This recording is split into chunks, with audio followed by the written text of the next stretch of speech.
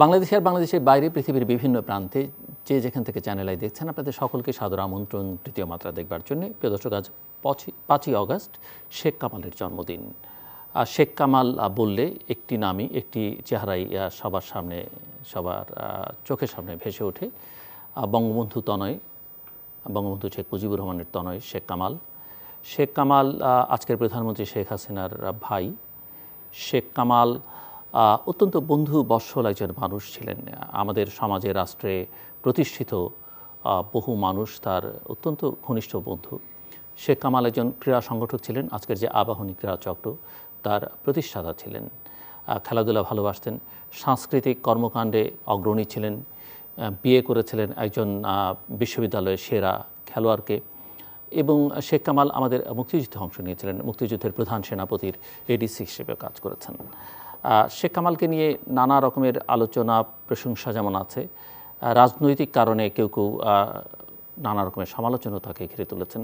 কিন্তু আমার জানা মতেই বাংলাদেশ জাতীয়তাবাদী দল, আজকের ক্ষমতাসীনদের প্রতিপক্ষ যে রাজনৈতিক দল সেই দলের বেশ কয়েকজন নেতা না হলেও একেবারে সংখ্যায় নগণ্য নন এমন কয়েকজন নেতা আছেন যারা শেখ কামালের বন্ধু। এবং তারাও ব্যক্তিগত আলাপচারিতায় তার প্রশংসা করেছেন। একজন অত্যন্ত গুরুত্বপূর্ণ নেতা তো তার বইয়েই শেখ কামালকে ঘিরে যে নিন্দা বা সমালোচনা বা গুজব সেটিরও জবাব দিয়েছেন এবং তিনি সেগুলোকে উড়িয়েই দিয়েছেন।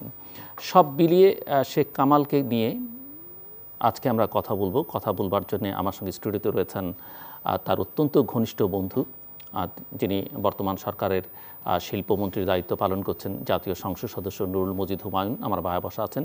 এবং আমি জানি, আমার জানাটা ভুল নয়, যে মিস্টার নুরুল মজিদ হুমায়ুনের বিয়ের সাক্ষী ছিলেন শেখ কামাল। আমার ডানে রয়েছেন বাংলাদেশের জাতীয়তাবাদী দল বিএনপির রাজনীতির সঙ্গে একসময় অত্যন্ত সক্রিয়ভাবে ছিলেন। এখন খানিকটা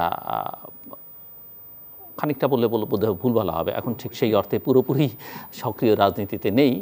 এখানে হয়তো অভিমান অনেক কিছুই কাজ করে। যাই হোক সাবেক জাতীয় সংসদ সদস্য এবং তিনি নিজেও খেলাধুলার সঙ্গে অত্যন্ত নিবিড়ভাবে যুক্ত ছিলেন বাংলাদেশ ফুটবল ফেডারেশনের সভাপতির দায়িত্ব পালন করেছেন এস এস সুলতান। আমার ডানে বসা স্বাগত।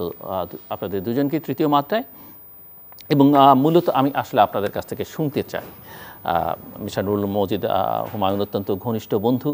মিস্টার এস এস সুলতান, আমি জানি না সম্পর্ক কতটুকু ছিল বাট অনেকখানি ছিল এবং সেই সময় রাজনীতিতে অত্যন্ত সক্রিয় মানুষ ছিলেন বঙ্গবন্ধুর সময়। এবং দর্শক, আমরা জানি যে এই অগাস্ট মাসই শোকের মাস এবং পনেরোই আগস্ট বঙ্গবন্ধু শেখ মুজিবুর রহমান প্রায় সপরিবারে দু কন্যা বাইরে ছিলেন বেঁচে গেছেন, বাকি সবাই হত্যাকাণ্ডের, নির্মম হত্যাকাণ্ডের শিকার হয়েছেন এবং শেখ কামালও তাদের মধ্যে অন্যতম যিনি সেই রাতে উনিশশো পঁচাত্তরের নির্মম হত্যাকাণ্ডের শিকার হন সস্ত্রীক মিস্টার নুল মজিদ হুমায়ুন, আপনার কাছ থেকে শুনতে চাইব বন্ধু শেখ কামাল ধন্যবাদ জিল্লুর, আপনি যথার্থই বলেছেন। আজকে শেখ কামালের জন্মদিন, অগাস্ট মাসটাই আমাদের জন্য ঘটনাবহুল। প্রচুর বাঙালির জীবনে। শেখ কামাল আমার একেবারে বাল্য বন্ধু আমরা স্কুল, কলেজ খেলার সহপাঠী, তারপর রাজনৈতিক সহযোদ্ধা, সহকর্মী বিশ্ববিদ্যালয় পর্যন্ত হয়েছি। বলতে গেলে অনেক কিছুই বলা যাবে, তবে আমি শুধু কিছু কথাই বলব আপনাদেরকে, যেটা আজকে টুটু ভাই আছেন উনি আমাদের ভাই, ষাটের দশকের নেতা আমরা যারা। আপনি জানেন যে বঙ্গবন্ধু ষাটের দশকেই ছয় দফা দেন এবং রাজনীতিটা শুরু হয়।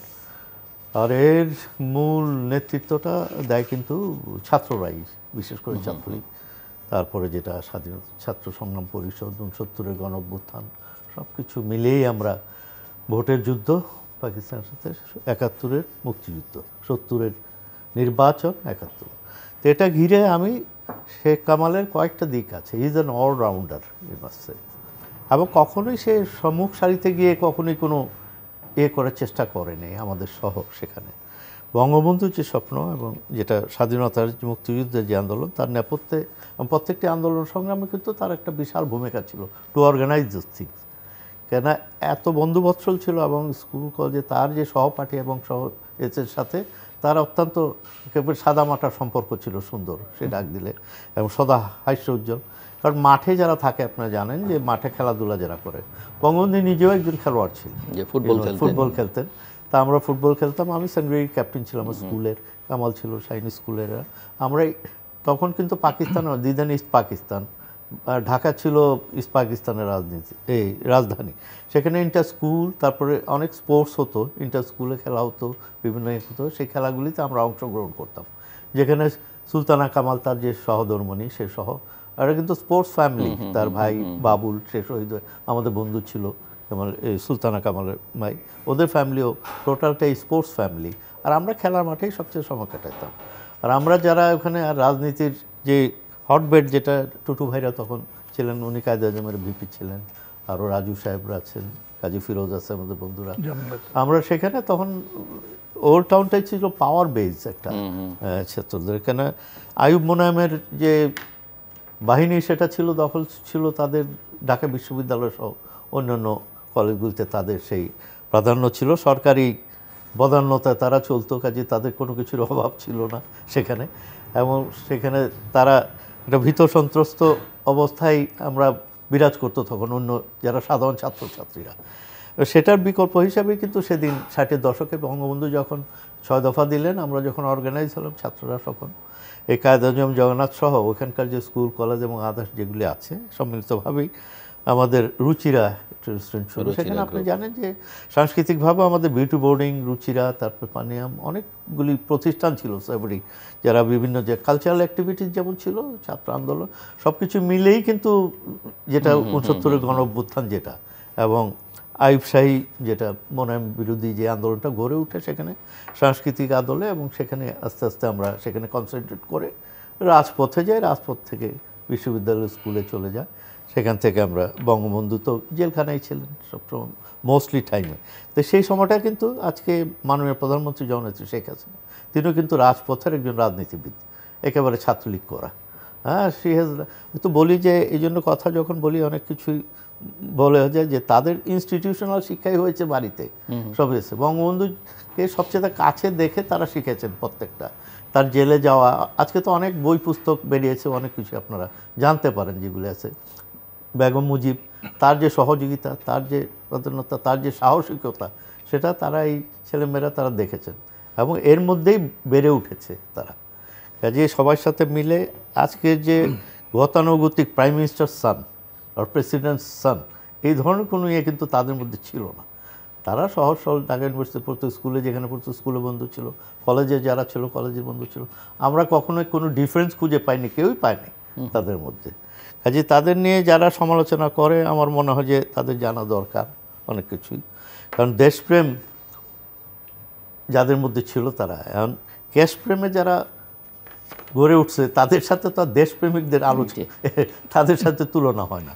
কাজে we have got a backgrounds in all এবং শেখ কামাল এর মধ্যে অত্যন্ত ব্যতিক্রমী। সে খেলাধুলা থেকে শুরু করে আছে লেখাপড়াও যেমন ছিল মঞ্চে যেমন ছিল নাটকে যেমন ছিল খেলার মাঠে যেমন ছিল যার জন্য মডার্ন আজকে ফুটবল যেটা আবাহনী যেটা জাতীয় this is his creation is creative এবং আমরা খেলতাম আমরা লাস্ট আমার মনে আছে আমি কামাল একই টিমে তখন আইব খানের ডিকেট অফ রিফর্ম চলছে। It was sixty eight Tutu Tutu ভাইয়ের বোধহয় মনে আছে। মানে তার সাফল্যের দশ বছর দশ বছর। আমরা তখন ঢাকা কলেজে পড়ি। আমি কামাল আমরা একসাথেই তার না তারপরে আমাদের আর বন্ধুরা আছে। তখন ওখানে ইন্টার বোর্ড ক্রিকেট টিম করলাম। এখানে চিটাংয়ে খেলা হবে। আমি ওই টিমের মেম্বার একজন সদস্য। আমি ক্রিকেটও খেলতাম ফুটবল বোধ তো কামাল ওয়াজ ভাইস ক্যাপ্টেন আমাদের জুয়েল শহীদ জুয়েল মারা গেছে।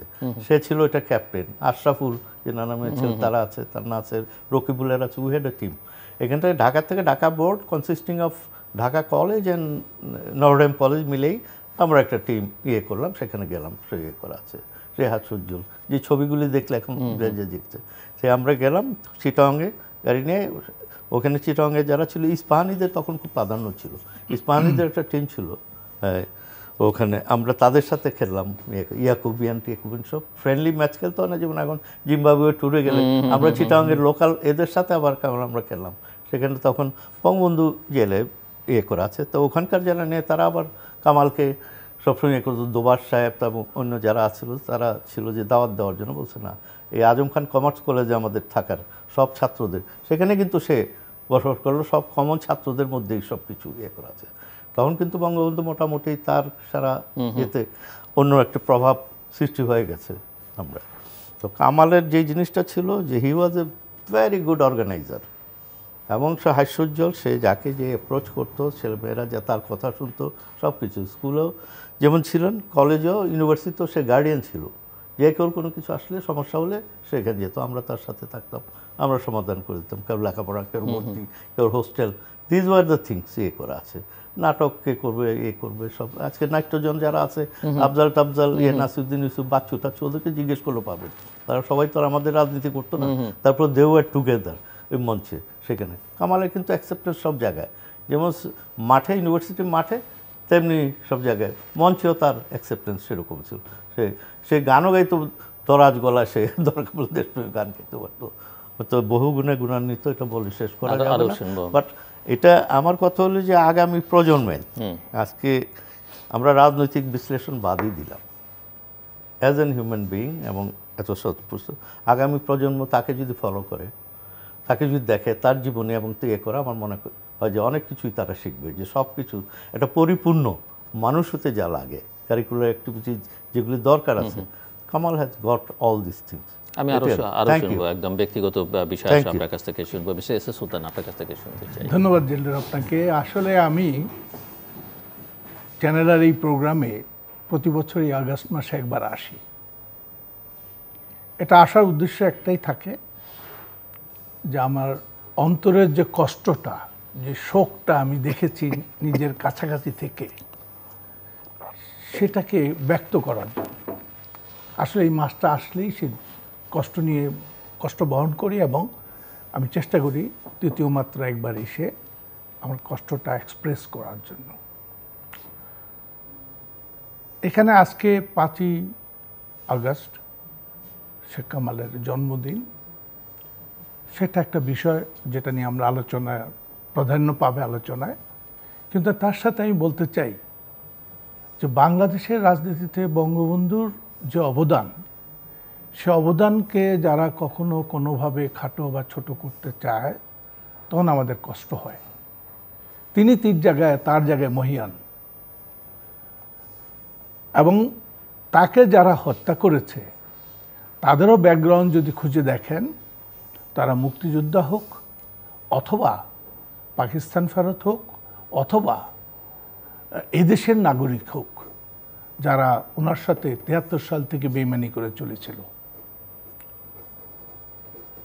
আমার অনেক কষ্ট হয় এই মাসটা আসলে যখন বুঝি যে পৃথিবীর ইতিহাসে বোধহয় এমন জঘন্যতম হত্যাকাণ্ড হয়েছে কিনা কারও জানা আছে কিনা আমি জানি না।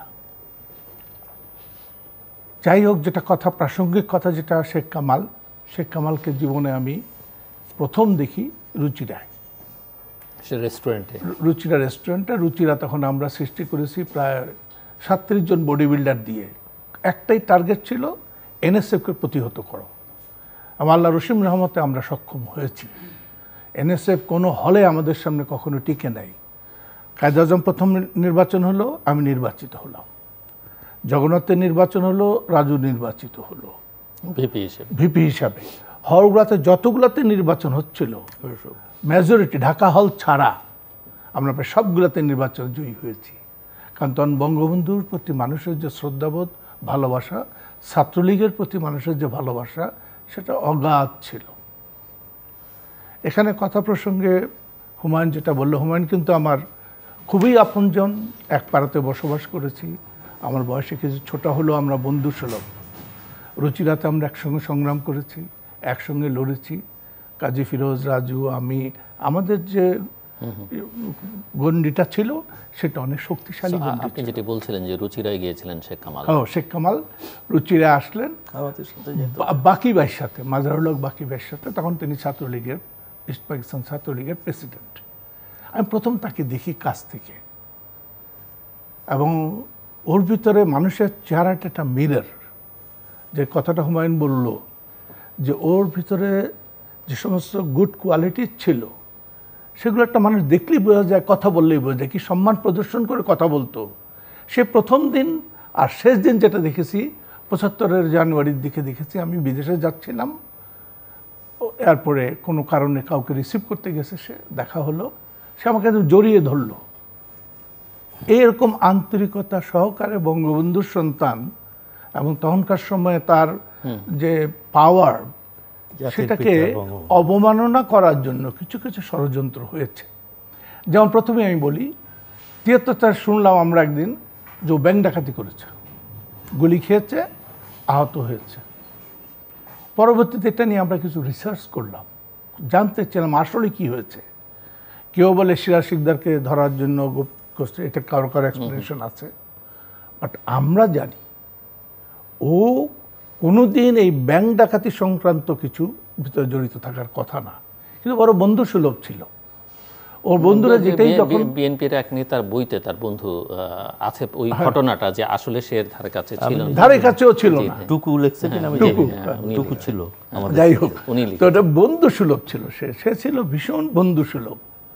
এবং বললাম তো যেভাবে জড়িয়ে ধরলো বঙ্গবন্ধুর সন্তান সে আমার কাছে সত্যি সত্যি একটা আনন্দের কথা যে সে মনে রেখেছে আমাকে। রুচিরা গোবের সাথে ছিলাম মনে রেখেছে। ছয় দফা আন্দোলন যেটা যেটা নিয়ে আমার দৃষ্টিতে আওয়ামী লীগের শক্তি বহুগুণ বৃদ্ধি পেয়েছে ছয় দফা আন্দোলনের। এটার প্রধান ভূমিকা ছিল আমাদের old town best Jagannath Quaid-e Azam. আমার মনে আছে? সাতই জুনের সাতই জুনের ডিক্লারেশনটা হলো আটই জুন ইত্তেফাকে খুব বিশাল করে খবর আসলো। তো বাকি ভাই এলেন আমাদের কাছে এসে আমাকে বললেন যে টুটু একটা মিছিল করতে হয় আমাদের। তো আমি বললাম যে আচ্ছা হবে। কিন্তু আপনি যে আজকে ইত্তেফাকে দেখলাম আপনি যে লিখেছেন যে আপনাদের সম্পূর্ণ সমর্থন আছে এটার ছয় দফার প্রতি এটা কিন্তু সাংবিধানিক হলো না। বলে কেন? আপনি আপনি আমাদেরকে ডাকতেন সবাইকে ডাকতেন আপনার কমিটির লোকজন ডাকতেন এই চার ঘণ্টা নোটিশে রাখতেন আমরা হাজির থাকতাম। আপনি বলতেন যে আমাদের এই করতে হবে নির্দেশনা দিতেন। আপনি কাউকে না যে সেই যে এক না একত্র দেখালেন এটা কিন্তু আমার পছন্দ হলো না। তুমি আমাকে খুবই আদর করে পিঠ চাপড়ে বলেন আচ্ছা টিকিট দিয়েছি টিকিট দিয়েছি কিছুক্ষণ পরে নুরি আলম সিদ্দিকি আসলো। তো বাকি ভাই সেদিন আমাদের সঙ্গে না গেলেও বিশেষ কারণ ছিল হয়তো কোনো কারণ ছিল নুরি আলম সিদ্দিকি আমরা কয়েকজনে মিলে রাজু শেলি ভাই কলতাবাজারের হুমায়ুন ছিল কিনা আমার মনে নেই। তখনও বা- পড়ালেখায় ভালো ছিল খুব বেশি সুতরাং রুচিরা গ্রুপটা একটু কালার্ড ছিল যেখানে খুব আড্ডা টাড্ডা হয় আর কি। তো আমার সেটা মনে নাই বাট তার পরবর্তী সময়ে সে সবসময় ছাত্রলীগের নেতৃত্বে যথেষ্ট সম্মানের সাথে। আমাদের ফান্টোমাস ফজলুর রহমান হ্যাঁ, ফান্টোমাস। তাকে বলা যায় না। অদ্ভুত চরিত্রের ছেলে ছিল ভালো ছেলে ছিল। যাই হোক তো ফন্টমার ছিল। খুব জোরে জোরে কথা বলতো এবং তার মুখের পাওয়ার কথার পাওয়ার অনেক বেশি ছিল। তো শেখ কামালের জন্মদিনে আমি একটি কথা বলব ওনার সম্বন্ধে যে ব্যাংক ডাকাতির ঘটনাটা এটা মোরল্লাস বানোয়াট। তারপরে আরেকটি ঘটনা যেটা নিয়ে বেশ তোলপাড় হয়েছে ডালিম সংক্রান্ত ব্যাপারে। ওটাতে কোনো মতেই সে জড়িত না। নট অ্যাট অল এটা গাজী মোস্তফার ছেলে ছোটটা রুনু শুধু একটা ও। ও ডালিমের সাথে একটা বিয়ে বাড়িতে কোনো বিষয়ে কিছু ঝামেলা টামেলা হয়েছে বর বউকে কেন্দ্র করে কিছু উচ্ছৃঙ্খলতা হয়েছে। তো যেহেতু ও আর্মির ইয়ে দেখাইছে ভাব দেখাচ্ছে কিছু আর্মি কিছু লোকজন আসছে ডালিমের পক্ষে এই পক্ষে আবার গাজী সাহেবের ছেলেপেলেদের যথেষ্ট পাওয়ার ছিল রুনুর যথেষ্ট পাওয়ার ছিল ঢাকা শহরে। রুনুর লোকজন আসছে। এসে একটা সংঘর্ষের মতো হয়েছে। ওই কিডন্যাপ করেছে, ওটার পেছনে নেপথ্যে শেখ কামাল। এটা ছিল তখনকার সময়ের বঙ্গবন্ধুকে হেয় করার জন্য একটা publicity media based in based American ইয়েতে ব্লেসিংসে এরা সব অদ্ভুত অদ্ভুত ঘটনার সৃষ্টি করত শুধু ওনাকে হেয় করার জন্য। একটি কথা আজকে আপনাকে বলি, হয়তো আর আগে কখনো বলেছি কিনা জানি না। শফিকুল কবির বা শফিকুল বাসার শফিকুল কবির ইত্তেফাকের সাংবাদিক সাংবাদিক ছিল। সে একদিন আমার অফিসে আসলো। কি কথায় কথা বলল? মানে এটা হলো আর্লি এইটিজ বা এন্ড সেভেন্টিজে তো বলে জানেন আমরা কি করতে পারি? মানে কি করতে পারেন? দিনকে রাত করে ফেলতে পারি। ওই যে একটা কি মেয়ে জালে পেঁচিয়ে বাসন্তী বাসন্তী। জালে পেঁচিয়ে তার সম্ভ্রম রক্ষা করতেছে এটা তৈরি করা ঘটনা আমরা করেছি। কেন করলেন? বঙ্গবন্ধুর মতো লোকরে তার তিনি তখন দেশের নেতৃত্ব দিচ্ছেন তাকে হেও করার জন্য এটা করলেন আপনারা? বলা যায় ইয়েস এটা রিজন আছে। এখন রিজনটা যদি খোঁজেন তাহলে দেখবেন যে বঙ্গবন্ধু অল লং ছিলেন সম্পূর্ণভাবে আমেরিকানপন্থী এবং আমেরিকান গণতন্ত্রে উনি বিশ্বাস করতেন তাদের সঙ্গে সুসম্পর্ক ছিল। আজকে যখন আমরা নিজের মনে নিজকে বিশ্লেষণ করি আর জিজ্ঞাসা করি তাহলে এমনটা হলো কেন? তখন মনে হয় যে পঁচিশে জানুয়ারি পঁচাত্তরের যে সিদ্ধান্তটা সেখানে কিছুদিন আগে আমি নুর আলম সিদ্দিকের একটা বক্তৃতা শুনলাম পার্লামেন্টের। তো মনে হলো যেন কোথায় একটা ভুল ছিল। এবং সেই জন্যই বাঁচা তাকে এবং সপরিবার হত্যা করা হয়েছে।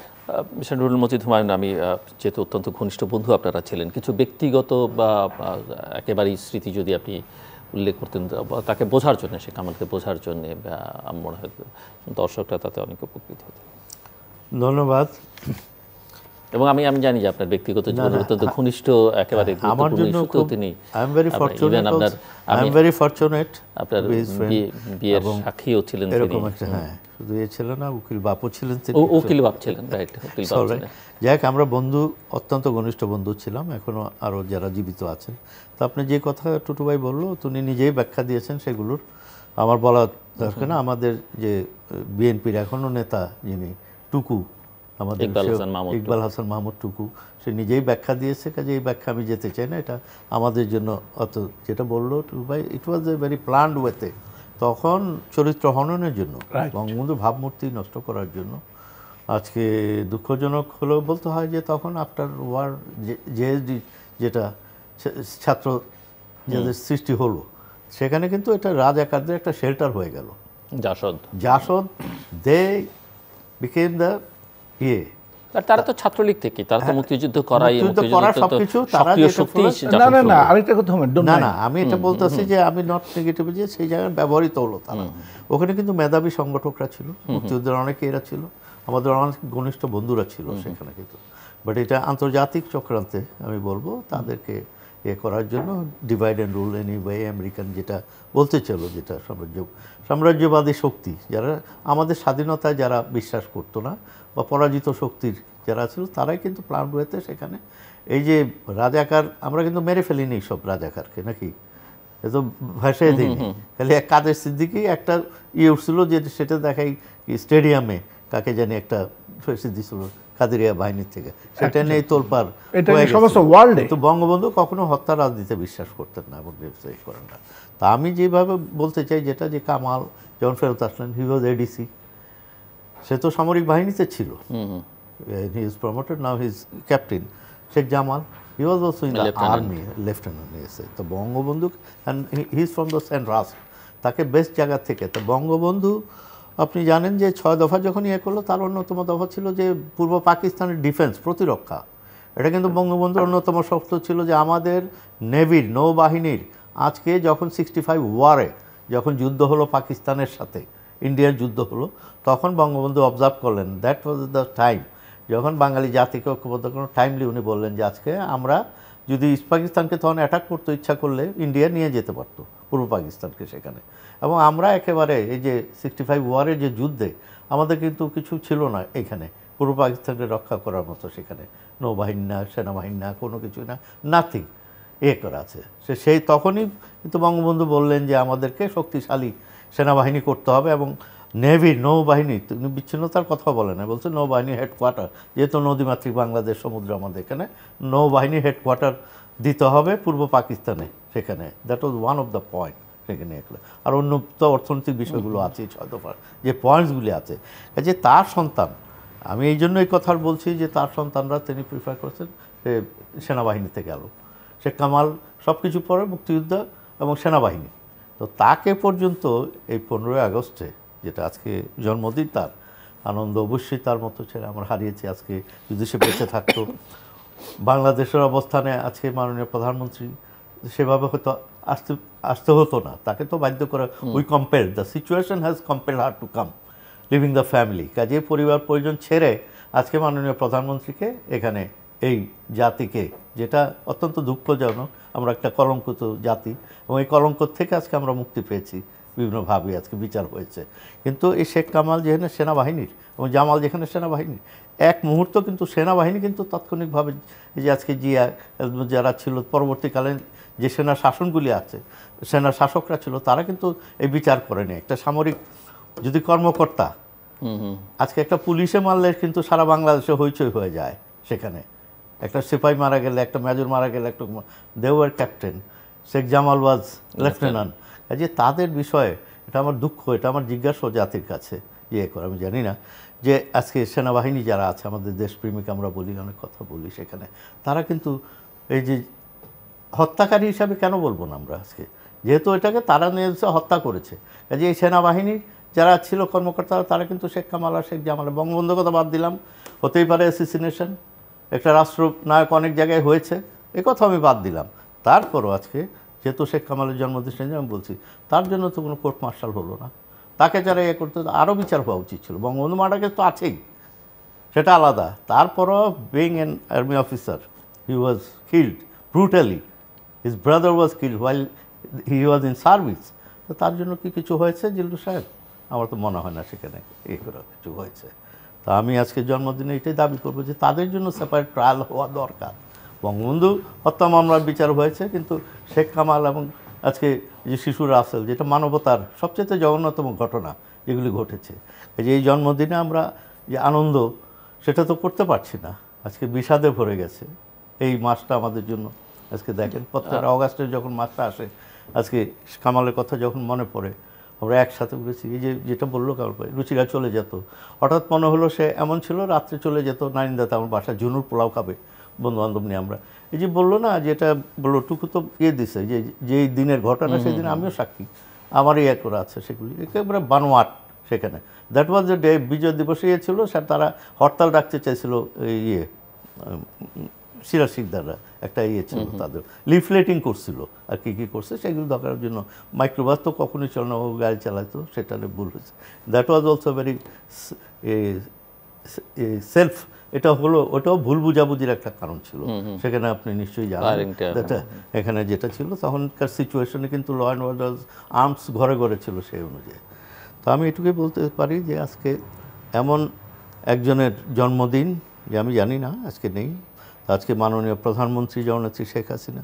আমার মনে হয় যে বঙ্গবন্ধুর যে পরিকল্পনা যে এটা আমি অনেক রাজনীতি ছাত্র হিসেবে আমি বলি যে বঙ্গবন্ধুকে আমি মিস করি না খুব। কেন মিস করি না? যে আমার মনে হলো যে বঙ্গবন্ধু যে টু- টুকুভাই এট- এট- ইয়ে টিটুভাইকে দেখে মনে হলো যে আমরা যখন উনি হয়তো তখন আবার উনি চাকরিতে চলে গেলেন এয়ারফোর্সে চলে গেছিলেন ওয়াজ গ্যাপ ই গো টু হিজ কেরিয়ার স্বাভাবিকভাবে চিন্তা করতে তো আমরা যারা ছাত্র রাজনীতির সাথে জড়িয়ে গেলাম আমরা দেখলাম যে বঙ্গবন্ধু আমাদেরকে সদফা দিলেন, আমরা এগুলি করলাম। নয় মাসের যুদ্ধ, আবার বঙ্গবন্ধু মনে হয় আমাদের কাছ থেকে স্টাডি লিভে গেছিলেন তুই ইয়ে করা ওই পাকিস্তানে বসে উনি আবার ওয়ার্কআউট করলেন how to rebuild the country সেখানে এসে যখন তিনি রিবেল্ড করা শুরু করলেন, আমরা তখন যুবলীগ করি, যুবলীগের নেতা, আমাদেরকে রিহেবিলিটেশন তার মধ্যেই কিন্তু এই ষড়যন্ত্রগুলি হয়ে গেল সেখানে। কিন্তু আজকে আমি বলতে বাধ্য হচ্ছি যে এমন মনে হয় আমার এখন যে বঙ্গবন্ধু বোধহয় তার সঠিক সময় যে কর্মকাণ্ড সেগুলি শেষ হয়ে গেল। উনি তার কন্যার জন্য বাকিটুকু রেখে গেছেন এবং তার সুযোগ্য কন্যা আজকে সফল রাষ্ট্রনায়ক জননেত্রী শেখ হাসিনা, তার সাথে আমরা কাজ করছি। সেই অসম্পূর্ণ যে কাজগুলি তিনি করে যাচ্ছেন, কাজে আই ডোন্ট ফিল এনি ইয়ে এই যে আজকে কী কী হইচই করে, কত দফা মফা, এগুলির দিন তো নাই। আজকে দেশ গড়ার দিন। এই রাজনীতির দিন শেষ হয়ে গেছে।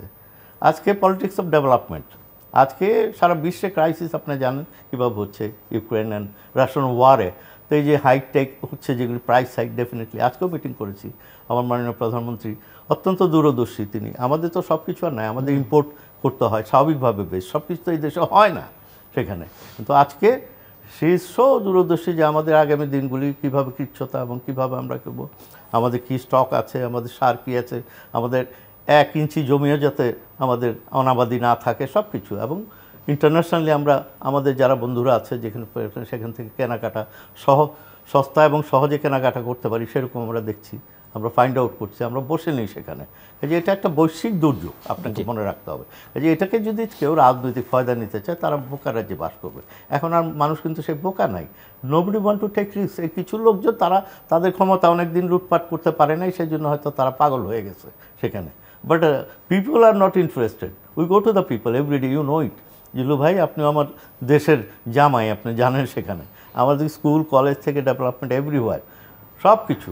আজকে হাইওয়ে পদ্মার পরে তো চেহারা চেঞ্জ হয়ে গেছে। হোল সাউথ বেঙ্গল আপনাদের আজকে নতুন একটা আমি তো মনে হয় যে এটা সান ফ্রান্সিসকো হয়ে যাবে। এই যে যেগুলি পরে যেগুলি পদ্মার পারে যে শহরগুলি হয়েছে নতুন নতুন ভাঙা পর্যন্ত যেভাবে দেখলাম। তুমি কেন থিঙ্ক অফ ইট এটাকে পিছিয়ে যাওয়ার কোনো পথ নাই। কাজে কেউ দিবি স্বপ্ন দেখল আমি মনে করি না। কাজে আজকে আমরা ফিল করি, কামালের অভাবটা আরও বেশি ফিল করি। ইউ আর সো ডাইনামিক আজকে আমরা খেলার মাঠে ক্রিকেটে ফুটবলে সব জায়গায় আজকে বাংলাদেশকে একটা অবস্থান নিয়ে গেছে। দ্যাট ওয়াজ কামাল স্পিরিট আমরা নিজেরা খেলতাম, আমরা নিজেরাই এ করতাম। খেলাধুলার সাথে থাকতাম আপনার ইন দ্য ফিল্ড কাজেই যারা খেলার মাঠে থাকে, তারা কোনো দিন তারে সে একটা সিগারেট খেত না। আমি সিগারেট খেতাম। সে কোনো দিন সিগারেট খায় না। He never smoke he never drink nothing of that sort কোনো বদভ্যাস ছিল না। He was a real and real sportsman I was so with Sultana Kamal she was such নাচ লেডি যে চিন্তা করেই জানা তার মতো মেয়ে আমার ছোটো বোনের সাথে তারা পড়তো। আমি দেখেছি তাদেরকে ক্লোজ দিয়েছে। তো এটা আমার জন্য বলতে গেলে অনেক দুঃখজনক। আজকে তারপরও আমি আল্লাহ তাকে ব্যস্ত নসিব করুক। বিশেষ সুলতান আপনি নিজেও ক্রীড়া সংগঠক ফুটবল ফেডারেশনের সভাপতি আমি যে ক্রীড়া ক্ষেত্রে সে কামালের হ্যাঁ, অবদান বা তিনি কতটা আমার একটা স্মৃতি পরিবর্তন এখানে আনতে পারলেন। আমি স্মৃতি বলছি আপনাদেরকে। আমি উনিশশো আটান্ন সালে আরামবাগ ক্লাব সৃষ্টি করেছি আমার কিছু বন্ধু বান্ধব সহকারে যে জন্য আমি জাতীয় পুরস্কার ক্রীড়া সংগঠক হিসেবে পেয়েছি। এটা আমাকে যে দিয়েছে আমি I am proud of it না দিলেও পারতো। সেখানে অনেক রকম ডার্টি পলিটিক্স হতো। তাও আমাকে প্রথম দেয়নি শেষের দিকে দেওয়া হয়েছে। উনিশশো আটান্ন সালে যে ক্লাবটা করার পর থেকে আমরা মনিভাই তখন আরামবাগেই থাকতেন। তো শেখ- মনিবার শেখ ফজলুল হক মনি। মনি ওখানে হাসনাত আবদুল্লাহ আসতো। দেশে থেকে আসলে ও আমার বয়সী। আমরা দুজনে গুলি খেলতাম লাট্টু খেলতাম এই ধরনের বন্ধুত্ব আমাদের। তো মনিবার বাসায় আমাকে একদিন ডেকে পাঠালেন। আমি গেলাম। যাওয়ার পরে দেখলাম এটা হলো বাহাত্তর সালের শেষের দিকে। পাকিস্তান থেকে মাত্র পালিয়ে এসেছি, তার দুই তিন মাস পরের ঘটনা। ডাকলেন আমাকে। ডেকে বলেন তো দেখ তো কামাল কি বলে? তো শুনলাম যে ওর একটা স্বপ্ন আছে খেলাধুলার সাথে সারা জীবন জড়িত। এটা আমিও জানি, যেটা হুমায়ুন বলল যে ও খেলাধুলার প্রতি যথেষ্ট ওর একটা আন্তরিকতা ছিল, প্রতিটি খেলার প্রতি। শিল্প চর্চার প্রতি, গান বাজনার প্রতি, প্রতিটি জিনিসে তার একটা ছিল। এবং তার ভিতরে যে কথাটা আমি অ্যান্ডোর্স করি তার সাথে, তার কোনো রকমের কোনো কুঅভ্যাস ছিল না। অনেকে তার বিয়ে নিয়ে কথা বলে, সুলতানা রাজি ছিল না বিয়ে। যার সুলতানা রাজি হবে না প্রাইম মিনিস্টারের ছেলে বিয়ে করতে চায়, রাজি হবে না, এটা কোন ধরনের মানুষের কথা? অদ্ভুত কথা। দ্যাট ইজ নট ট্রুথ এখন ও তারপরে তখন আসলো যে আমি এটা আমাকে বলল যে আমি এটা ক্লাব করতে চাই টুরু ভাই। তো আপনি তো করছেন কি কি মানে ফর্মালিটিসগুলো কি কি কেমন করে কি করতে হয়?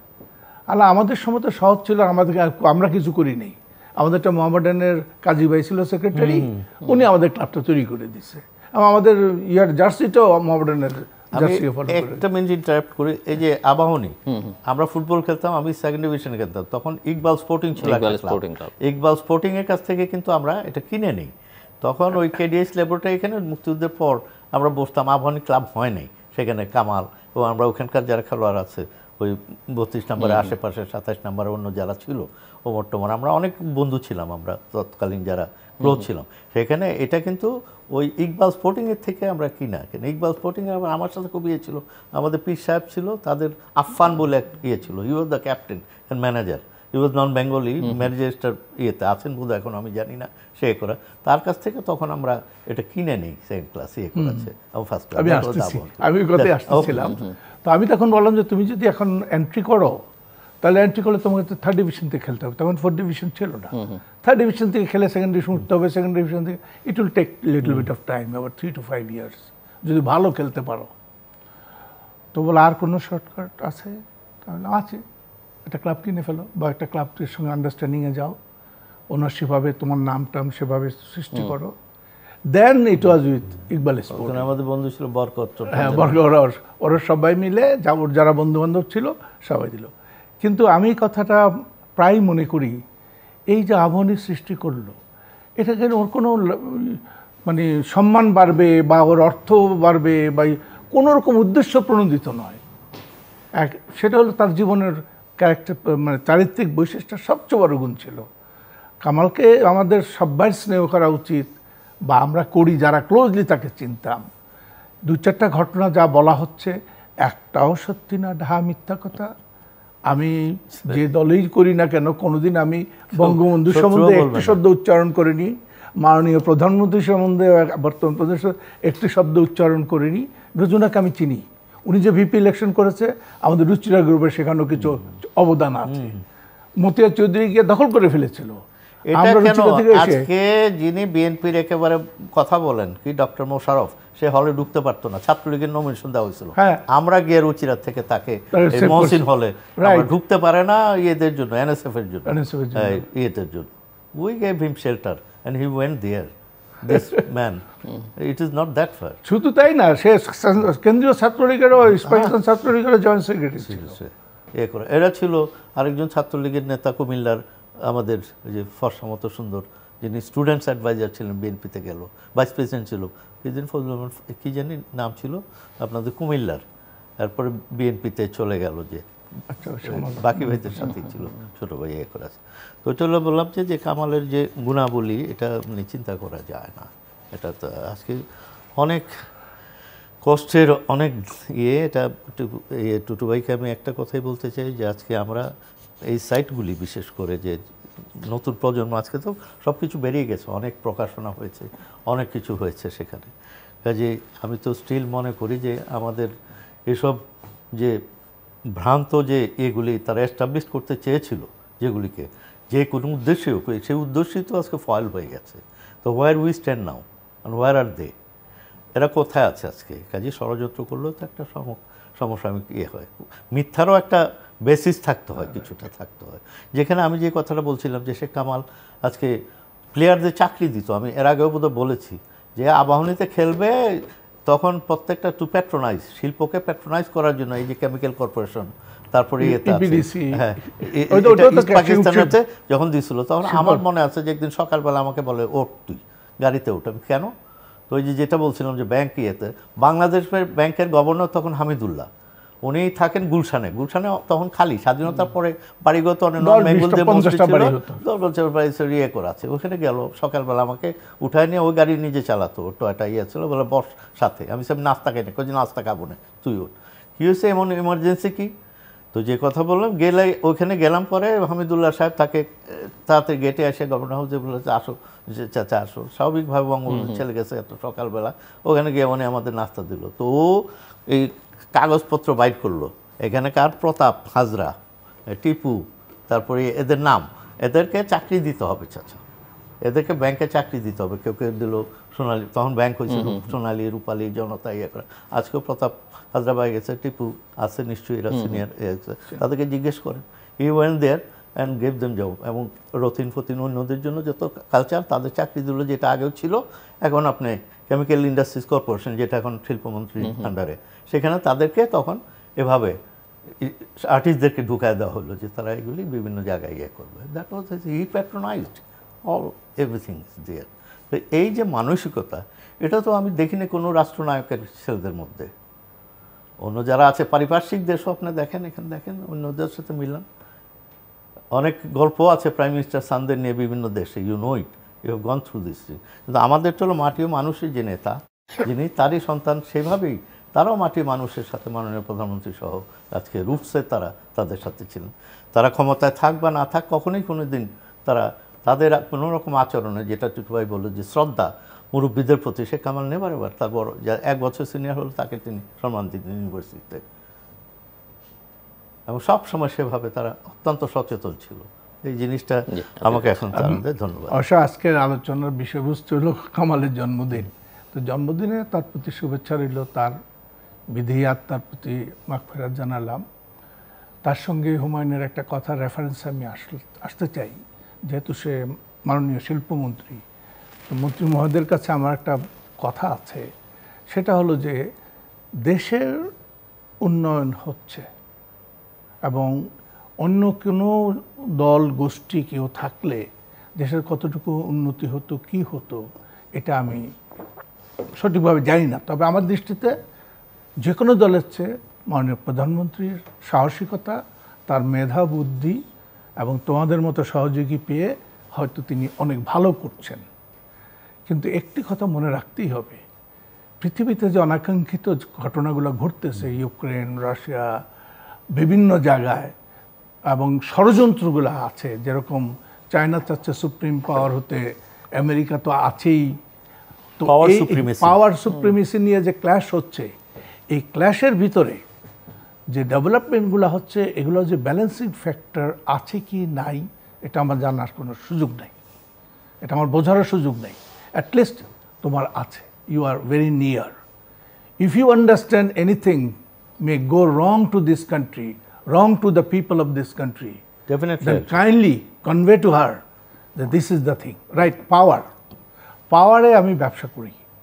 বহু বছর যাবত একেবারে আশি সাল থেকে কাপ্তাই আমার করা। তারপরে হরিপুর আমার করা। এ ধরনের অনেকগুলো প্রজেক্ট আমার ছিল। তো করে আমার একটা ব্যালেন্সিং ফ্যাক্টরের কথা তখনই আমি চিন্তা করতাম যে তুমি পাওয়ার তৈরি করছ distribution system is so poor so old system এই সিস্টেমের সাথে সমন্বয় না করলে এই পাওয়ার যে ক্রাইসিস এখন হচ্ছে এটা হওয়ার কথা না। এই যে গ্যাস আর তেলের কথা বলতেছে even the gas exploration of gas can be much more এটা আমার ক্ষুদ্র ধারণা থেকে মনে হচ্ছে। তো এইসব বিষয়ে you are very near kindly convey to her we have to have a balance factor জনগণের কাছে আমাদের এই কনফিডেন্সটা আনতে হবে জনগণ আমাদের এই ডেভেলপমেন্টকে সমর্থন করে এবং জান এটা আপনার কর্মদক্ষতা। থ্যাংক ইউ ফর দিস ধন্যবাদ। জি। শেষের দিকে আমরা যদি আপনি। কিছু বলবার থাকি। জিলু সাহেব? ভাই সত্যি কথাই বলেছে আজকে তো বাংলাদেশে যে অবস্থানে আমরা আরও স্বাভাবিক বৈশ্বিক যে আজকে দুর্যোগ সেখানে আমাদেরকে we must move very cautiously and our prime minister বঙ্গবন্ধুর daughter is very careful about it she always monitors all this things আমাদেরকে মনিটর করে। সার্বক্ষণিকভাবে she is our captain of the ship কাজে উনি অত্যন্ত অ্যাওয়ার যেহেতু যে আমাদের দেশের এই যে আজকে জনসংখ্যা এত বড় ইয়ে করে আছে সেখানে আমরা কিন্তু কোভিডকালীন সময়েও আমাদের যে economic life line that was CA কারণ আমরা কোনো কিছু বন্ধ করে দিই না বিশেষ করে আমার শিল্প মন্ত্রণালয়।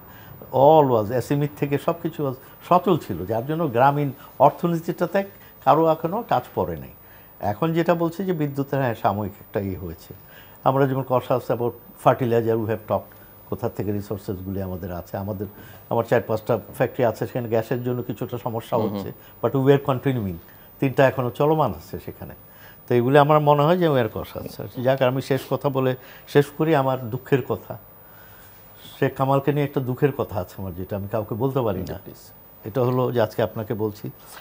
আমরা মোটামুটি নেতা ছিলাম টিটু ভাই তো বিপিটিপি হয়েছেন আমি কখনো বিপিজিএস হতে পারিনি।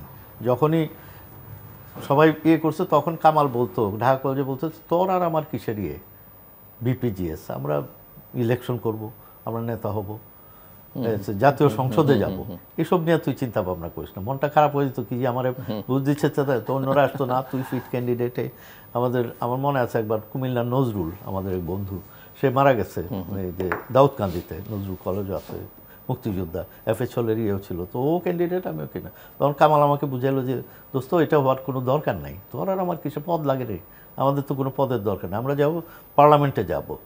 তো আজকে দুঃখে এই জন্য বলছি যে পার্লামেন্টে সে এসেছি এটি সিক্সে সেটা তার সাথে আসতে পারিনি মাননীয় প্রধানমন্ত্রী জননেত্রী শেখ হাসিনা তারই বোনের সাথে এসেছি।